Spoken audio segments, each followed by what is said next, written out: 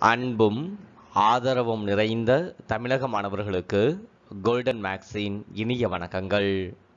நாம் இன்னைக்கு பார்க்க போகிற கணக்கு படத்தில் செங்கோண முக்கோணம் ஏபிசியில் கோணம் பி ஆனது செங்கோணம் மற்றும் டிஇ e என்ற புள்ளிகள் பக்கம் பிசியை மூன்று சமபகுதிகளாக பிரிக்கிறது எனில் எட்டு ஏஇ ஸ்கொயர் ஈக்குவல் டு மூணு ஏசி ஸ்கொயர் ப்ளஸ் அஞ்சு ஏடி ஸ்கொயர் என நிறுவுக.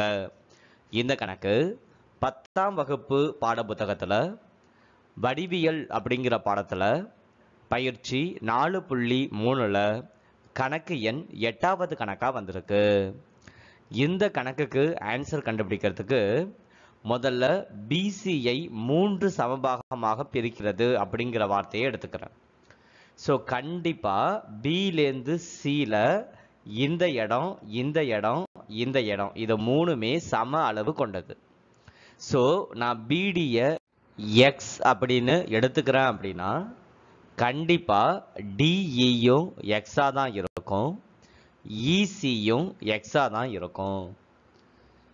இப்போ நான் நிரூபிக்க வேண்டியது இது. இதில் எல்ஹெச்எஸ் சைடை முதல்ல நான் கண்டுபிடிக்க போகிறேன் அதற்கு ஏஇ ஸ்கொயரை முதல்ல கண்டுபிடிக்கணும். ஏஇ அப்படிங்கிறது இந்த கோடு.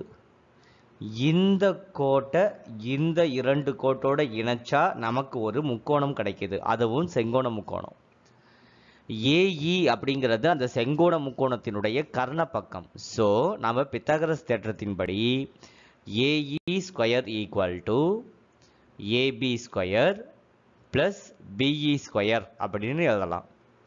இங்கே பிஇ e, இந்த பிலேருந்து இ e வரைக்கும் நடுவில் ரெண்டு எக்ஸ் தூரம் இருக்குது இங்கே ஒரு எக்ஸ் இருக்குது இங்கே ஒரு எக்ஸ் இருக்குது ஸோ கண்டிப்பாக இந்த பிஇக்கு e பதிலாக ரெண்டு எக்ஸ்னு எழுதலாம். ரெண்டை ஸ்கொயர் பண்ணால் நாலு எக்ஸை ஸ்கொயர் பண்ணால் எக்ஸ் ஸ்கொயர் ஸோ இது நாலு எக்ஸ் ஸ்கொயர் இப்போ நமக்கு எட்டு ஏஇ ஸ்கொயர் வேணும். ஸோ இதில் உள்ள எல்லாத்தையுமே எட்டால் பெருக்க போகிறோம் ஏஇ ஸ்கொயரை எட்டால் பெருக்குனா எட்டு ஏஇ ஸ்கொயர் ஏபி ஸ்கொயரை எட்டால் பெருக்குனா எட்டு ஏபி ஸ்கொயர் நாலு எட்டால் பெருக்குனா முப்பத்தி ரெண்டு எக்ஸ் ஸ்கொயர் இப்போ நான் ஆர்ஹெச்எஸ் சைடை எடுத்துக்கிறேன். இதில் முதல்ல நான் ஏசி ஸ்கொயரை கண்டுபிடிக்க போகிறேன் ஏசி அப்படிங்கிறது இந்த கோடு. ஸோ இதோட சேர்த்துட்டோம்னா இதுவும் ஒரு செங்கோண முக்கோணத்தை உருவாக்குது. அதில் ஏசிங்கிறது கர்ண பக்கம். ஸோ இதை பித்தாகரஸின் தேற்றத்தின்படி எப்படி எழுதலாம் அப்படின்னா AB square plus BC square இதில் பிசிக்கு நடுவில் மூணு எக்ஸ் இருக்குது ஸோ பிசிக்கு பதிலாக மூணு எக்ஸ்னு எழுதலாம். மூணை ஸ்கொயர் பண்ணால் ஒன்பது எக்ஸை ஸ்கொயர் பண்ணால் எக்ஸ் ஸ்கொயர் ஸோ ஒன்பது எக்ஸ் ஸ்கொயர்னு இதை எழுதிடலாம். ஏசிக்கு முன்னாடி மூணு இருக்குது ஸோ ஏசி ஸ்கொயரை மூணால் பெருக்கணும். அதனால் இங்கே உள்ள எல்லா நம்பரையும் நான் மூணால் பெருக்கிறேன். மூணு ஏசி ஸ்கொயர் ஏபி ஸ்கொயரை மூணால் பெருக்கினா மூணு ஏபி ஸ்கொயர் ஒன்பதை மூணால் பெருக்கினா இருபத்தி ஏழு. ஸோ இருபத்தி ஏழு எஸ் ஸ்கொயர் இப்போ அடுத்தது ஏடி ஸ்கொயர் கண்டுபிடிக்க போகிறேன் ஏடி ஸ்கொயருங்கிறது இந்த கோடு ஸோ இந்த முக்கோணத்தை எடுத்துக்கணும். இதற்கு Pythagoras தேற்றத்தின்படி AB square plus BD square இங்கே பிடி அப்படிங்கிறது எக்ஸ் தூரத்தில் இருக்குது ஸோ பிடிக்கு பதிலாக எக்ஸ் போடலாம். ஸோ எக்ஸ் ஸ்கொயராக மாறிடும்.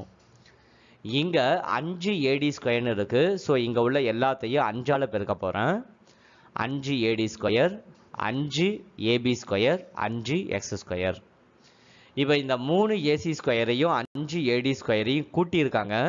அதனால் நான் கண்டுபிடிச்ச இது ரெண்டுத்தையும் கூட்ட போகிறேன் இது ரெண்டுத்தையும் அப்படியே கூட்டல எழுதிடலாம். இங்கே மூணு ஏபி ஸ்கொயரையும் அஞ்சு ஏபி ஸ்கொயரையும் கூட்டினா எட்டு ஏபி ஸ்கொயர் கிடைக்கும். அதே போல் இருபத்தி ஏழு எக்ஸ் ஸ்கொயரையும் அஞ்சு எக்ஸ் ஸ்கொயரையும் கூட்டினா முப்பத்தி ரெண்டு எக்ஸ் ஸ்கொயர் கிடைக்கும்.